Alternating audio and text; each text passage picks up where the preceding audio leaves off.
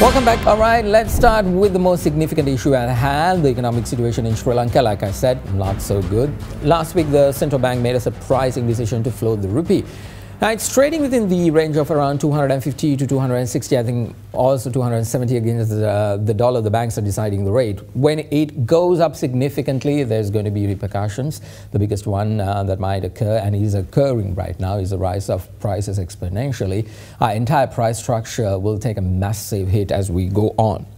Now, I will not join the doom and gloom brigade and start scaring you, but I'm trying to break this uh, to the level that you and I can understand and think rationally. There is no room for fear. Now, the decision by the central bank has its negative and positives. Many liberal thinking economists believe that this was the right thing to do. Let the market decide as to what the price of the rupee is against the dollar. However, others uh, were strongly advocating against this. They wanted uh, to hold the rupee at around 200 uh, rupees per dollar and keep the imports low. For some reason, the central bank governor has decided to float it. We know, uh, we now know that this was one of the requests made by the IMF during their visit to Sri Lanka, and in, uh, it was there in their assessments as well. So it also bids the question: Did the central bank finally cave into the pressure and did exactly what the liberal economist wants, and uh, basically did what the IMF wants? අපි පාවිච්චි කරලා තිබිච්ච සමහර මෙවලම් අපිට වෙනස් කරන්න සිදු වෙලා තිබෙනවා. ඒ නිසා තමයි මේ සතියේ මුල් භාගයේදී ශ්‍රී ලංකා රුපියල තවදුරටත් නම්‍යශීලී භාවයට පත් කිරීමට අපි තීරණය කළ තිබෙනවා. පොලි අනුපාතය වැඩි කිරීමට තීරණය කළ තියෙනවා. අපි දන්නවා මේවායින් සමහර විට විවිධ ප්‍රතිවිපාක ජන ජීවිතයට ලැබෙන්න තිබුණත් දිගුකාලීන ස්ථායි භාවය රැක ගැනීම සඳහා මහ බැංකුව ඒ තීරණ අරන් තිබෙනවා. අපි දකිනවා වෙළඳපොලේ යම් වෙනස් වීම් සිදු වෙනවා විනිමය අනුපාතිකේ. ඒතර සමහර වෙලාවට අපි නුදුරු දිනක යම් කැළඹිලි ස්වභාවයක් දකින්න පුළුවන්. නමුත් අපි හිතනවා විශේෂයෙන් වෙළඳපොලේ විශ්වසනීය බව වෙළඳපොලේ ක්‍රියාකාරීත්වය දියුණු වීමත් සමගම ඊටාම ඉක්මනින් වෙළඳපොළ තුල විනිමය අනුපාතිකය ස්ථාවර වෙන්න බොහෝ දුරට අපි ස්ථාවර වනු ඇතයි බොහෝ දුරට අපි අපේක්ෂා කරනවා. දැන් විනිමය අනුපාතිකය මෙහෙම යම් ප්‍රමාණයක නම්‍යශීලී වෙද්දී එයින් යම් යම් බලපෑම් ඇති වෙන බව අපි දන්නවා. විශේෂයෙන් මිල ගණන් වලට රජයේ මූල්‍ය කටයුතු වලට යම් බලපෑමක් සිද්ධ වෙනවා. නමුත් දැන් මේ දේවල් අපි දකින්නේ తాවකාලිකව ඇති වෙන කම්පනයක් විදිහට පමණයි. මොකද අපිට ආර්ථිකයේ දිගුකාලීනව කිසියම් ස්ථාවරභාවයක් ලබා ලබා ගන්න අවශ්‍ය නම් කෙටි කාලීනව යම් යම් දුක් ගැහැට සහ දුෂ්කරතා විඳින්න යනවා. ඉතින් අපි හිතන්නේ කෙටි කාලීනව මෙවැනි තත්වයක් තිබුණත් අපිට ආර්ථිකයේ යම් ස්ථාවර භාවයකට ගේන්න පුළුවන්කම තියෙනවා. විශේෂයෙන් විනිමය අනුපාතිකය ලිහිල් වෙද්දී අපි දකිනවා වෙළඳ පොලේ විදේශ විනිමය ද්‍රවශීලතාවය ඉහළ යනවා. ඒ වගේම අපනයන දිරිගැන්වීමක් සිද්ධ වෙනවා. අනවශ්‍ය ආනයන තවදුරටත් අධෛර්යමත් වෙන්න පුළුවන් රජයේ ක්‍රියාමාර්ගත් සමගම Well, as I said, Sri Lanka does not have many options right now. There, there's in fact uh, limited options. We can keep begging from countries like India, China, and the rest of the world, but how long can that last? The next is going to the IMF.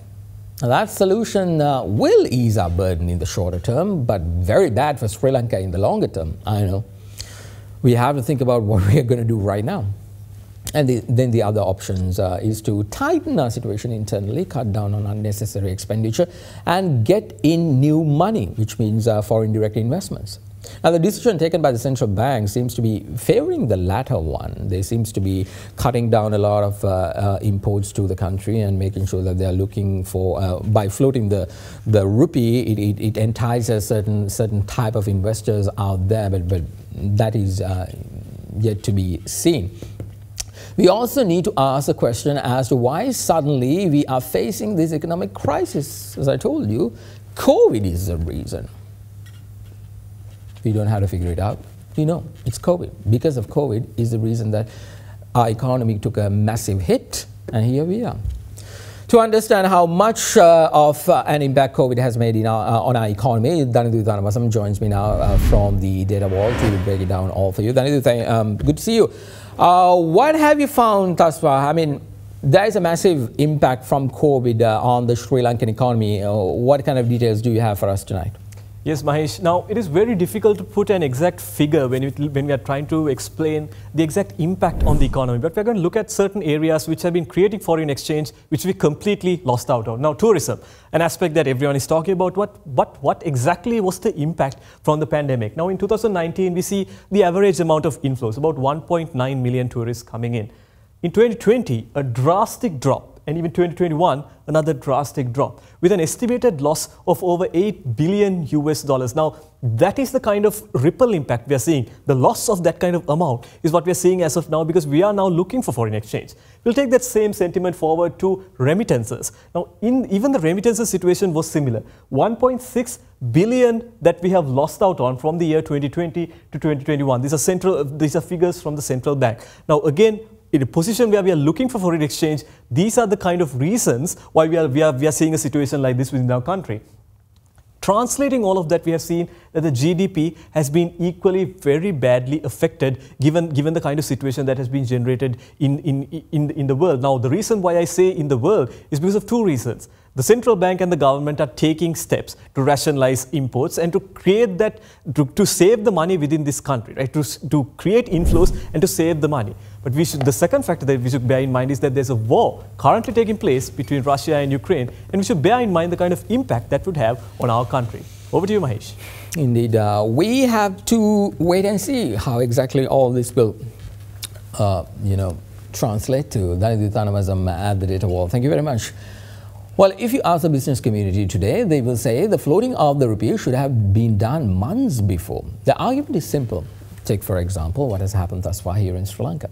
Sri Lanka has been lavishly importing unnecessary items since 2020 without capping them.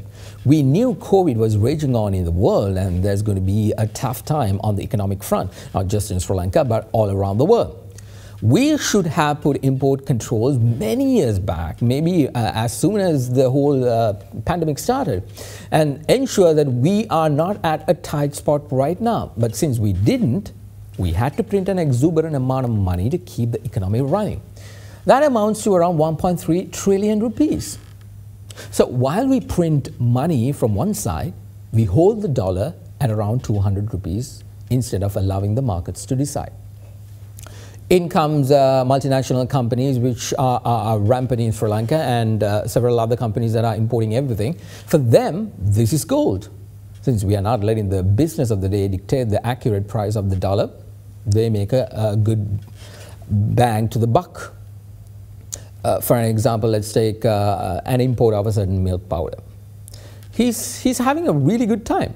How? Well, because he's paying a lower rate for the dollar on the other hand, we are printing money and providing it to our people. Now, what does uh, our people do? They go take that money and buy that same imported milk powder instead of buying a local product. And even the money we printed goes out of the country. Now, with the markets deciding the accurate, the accurate rate for the dollar, many businessmen believe that there will be a cut down on unnecessary imports and provide an opportunity for the local manufacturer to increase its presence. However, economists who argue against this move say that the government should have addressed the critical issue that led to this current crisis, fuel prices, and not meddle with the rupee. They believe that if the government cannot manage the flow of fuel, which is uh, buying and selling fuel, then to provide that opportunity for the private sector to address that and work that crisis rather than going to the far end to let the rupee float. They also say that this would have indeed lead towards prices of everything soaring and our current price structures of uh, every commodity taking a massive hit, as you can see that is happening right now. What's done is done the rupee is floating and the markets are deciding the price of the currency. This is not the first time Sri Lanka has allowed that. Uh, this, also, this also happened during uh, President Chandrika Kumaratunga's uh, tenure uh, back in 1995 and in 2000 when Sri Lanka was facing a brutal conflict. We resorted to this matter mainly because this is beneficial for the government's immediate crisis at hand. රජය බාණ්ඩ පිටරටින් එන අවස්ථාවේදී තීරුබදු අය කරනවා. තීරුබදු අය කරනකොට ඒ ලංකාවේ අද තිබෙන තීරුබදු ප්‍රමාණය සාමාන්‍යයෙන් සමස්ත අපේ ආනයන පරිමාව ගත්තාම මේ පරිමාවෙන් 105ක පමණ මට්ටමක තමයි අපි අද තීරුබදු අය කරන්නේ. ඉතින් අර රුපියල අප්‍රමාණය වීම නිසා අපි අය කරන තීරුබදු වලින් ලබන ආදායම රජයේ වැඩි වෙනවා. ඒ පළවෙනි එක. දෙවෙනි එක තමයි දැන් රජය අපෙන් අපි හිතමු ඩොලර් 100ක් ණය ගත්තොත් එහෙම පිටරටින් ඒ ඩොලර් 100 මහ බැංකුවට විකුණන්නේ රුපියල් 200 මට්ටම හැටියට රුපියල් 20000ක් තමයි ආණ්ඩුවට ලැබෙන්නේ. නමුත් දැන් මේක අවප්‍රමාණ්‍ය වුණොත් 250ට රජයට ලැබෙනවා රුපියල් 25000. ඇත්තටම රජය මෙතෙන්දී මේ සිද්ධ වන්නේ වාසිදායක තත්ත්වයක ඉන්නේ. Well, what I can say about this is simple. I'm not a decision maker on this matter, but certainly the decisions taken by those decision makers will affect me just like it will affect you. History will judge whether the correct move was made, and in about a month or so, we will reap the benefits, whether it's good or bad. So, my dear friends, buckle up. We're in for a bumpy ride. Let's get some clarity on this economic situation as well and steps taken by the government. Uh, for that, I'm now joined by parliamentarian Professor Ranjith Bandara, one of the economic minds of the current government. Professor, thank you very much for joining. Uh, good to see you. Now, many local economies, economic pundits are finding it absolutely baffling, uh, parliamentarian, that the government depreciated the rupee. Um, what was the thinking behind this, and why was it necessary to take this, uh, take this uh, decision right now? I think we are not uh, taking it uh, in a hurry. Uh, you know, this has been the case uh, for long. Uh, I would say we would have taken it a little early, uh, but of course we were a bit cautious uh, when the rupee is uh, in the floating uh, uh, mode uh, it would have had uh, uh, different consequences. That is why uh, I think the central bank was bit reluctant and delayed. Uh, however, mm, unless uh, uh, we implement uh, this type of uh, uh, policy, the situation would have been uh, much worse uh, than that uh, we could uh, even imagine. Now, there are quite a few uh, serious concerns.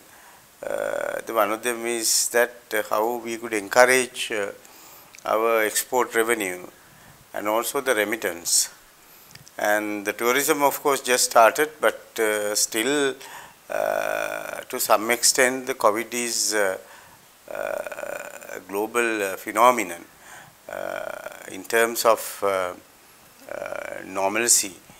Uh, therefore, uh, there was a there was a huge uh, uh, request by various parties. I think the governor of the central bank have uh, uh, taken some of these positive uh, uh, concerns uh, in relation to um, uh, the foreign exchange.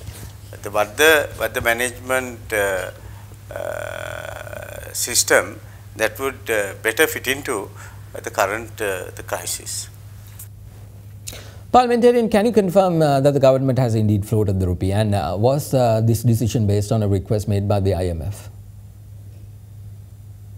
No, this is not depreciation. This is um, this is a kind of a, a guided uh, floating uh, arrangement.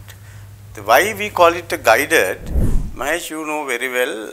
The, we want rupees to be uh, stable uh, in relation to a dollar. Now, we had two choices: either to uh, maintain in an artificial manner uh, by pumping uh, money to the market to meet the demand, the dollar demand. Uh, but uh, how long we could do that? And uh, the, the, the when uh, the central bank introduced this guided uh, the floating uh, exchange rate policy, in the short run, as you could see, the exchange rate go somewhere between uh, 260 to 280 rupees per dollar. But I am pretty sure within a few weeks it will settle and the central bank is happy to uh, see it uh, somewhere in 2230. Uh, so this is uh, basically not the depreciation, this is a, a guided uh, uh, floating. this is this is not the advice by this was not done by the advice of IMF or any other global financial institution. And we must keep that in mind. We have about 450 learned economists at the central bank. And also we have quite a few able people at the treasury. And uh, even even in uh, the academic circles uh, there are quite a few learned people. I think their opinion has also been uh, taken into account. Makes uh, perfect sense but there is a lot of fear in the country that our economic conditions will be like that of um, prime minister Sirimao Bandaranaike back in i think the 50s or the 60s do you think that's the case right now? No, you see, the Sirima Bandaranaike's uh, economic policy was uh, uh, inward looking uh, economic policy. The, everyone knows it has a close kind of a economic policy. Now, we are not uh, into it, but all what we are trying to do is that uh, if we could rely on ourselves to an extent, so what is the extent that we could rely on ourselves? Now say for example, some of these basic things uh, we don't need to import and uh, we certainly can uh, manufacture locally. So and restricting some of these uh, non-essentials, um, in one hand we are trying to manage our uh, existing foreign reserves in uh, wiser manner and also on the other hand we are trying to encourage uh, the local industries uh, by creating opportunities for unemployment. Now, unemployment could be a problem uh, time to come unless we address um, in such a way. And I think we must go beyond the politics. The, we would have opened it up in, like in 1977. How many infant industries collapsed? and uh, how many opportunities we have lost. Uh, therefore, the president is quite clear that the Sri Lanka has the potential of uh, doing certain things in a very sustainable manner. So, let us see how we could uh, move forward. Parliamentarian now according to uh, economic pundits in here in Sri Lanka, they suggest that the IMF uh, is the final solution. Is the government also thinking in that direction? You see, this is the thinking that the opposition has always been put forward. They don't see there are options. Now, one of the questions that we should ask ourselves is that why not we look for the what the global financial institute including IMF could offer for us to walk out from this crisis. And we being a member of the World Bank and the IMF and various other global financial institutions, why not uh, look for opportunities uh, as a member? And uh, the politically one could create uh, a, a, kind of a, a ha-who, uh, you know the IMF is the last resort. I mean we have been to IMF 16 times, uh, whereas Pakistan been 21 times. And of course there are countries, they were not very uh, helpful uh, in um, getting the economy right uh, with the advice of the IMF. That is the, the, the, kind of a fear that the, the, the certain political factions have created in the minds of the, the general public. Therefore, I would say if something that need to be done whether it is uh, advised by the IMF or any other global financial institution, we must look for it. We should not say no to anything as because we need uh, to get out from this mess somehow as soon as we could. Parliamentarian, even though you say and you deny uh, the government is not following the IMF, uh, on paper it looks like we are following the instructions of the IMF. Why don't we, you know, bite the bullet and go now take the money? You see, there are certain questions, uh, there are certain areas of improvements uh, we have to do whether IMF asks or not. Now, if I ask one simple question from the audience, don't we need to increase the government uh, revenue? Now, if you take uh, the government revenue in relation to GDP, we are one of the lowest in the world. And also, don't we need to uh, rationalize government expenditure? Don't we need to manage our public enterprises in uh, sustainable manner? Don't we need to utilize, underutilize public resources in such a way? So these are the things that we should do whether IMF or any other global financial institution asks us to do or not. Right? Now, rather than creating a mindset uh, and changing the mindset of general public, I don't think help at all uh, to get out from this mess. Thank you Mahieash, thank you very much having me. Well, thank you very much, uh, Parliamentarian Professor Ranjith Bandara. Uh, thank you very much for your time. Let's take a short commercial break. Upon our return, there's Victory at the UNHRC in Geneva. Back in a moment with the details.